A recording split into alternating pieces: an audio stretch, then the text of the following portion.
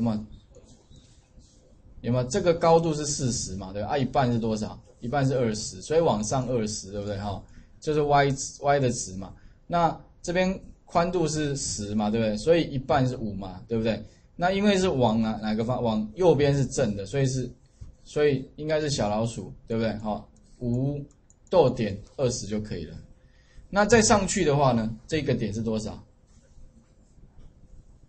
根根据它有没有？所以它应该是，应该是已经负了，对不对？负五嘛，往往左嘛，对不对？这个应该是往左，是负五，然后往上是二十，正二十哈。所以有这个概念的话，我们就可以画了出来哈。好，再来的话呢哈，我们来看一下，点一下有没有？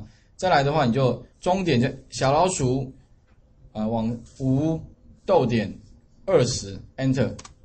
可是你会发现哈。这个弧哎奇奇怪变弯的，你不用理会它，为什么？它它这个时候是随便让可以可以把它搬回来，没有？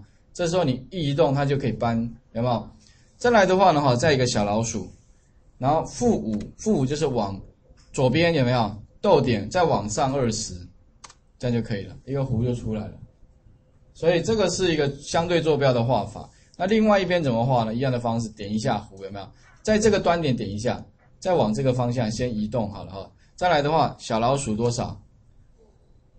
这个应该是往左边嘛，对不对？左多少呢？负五，对不对哈？然后也是往上，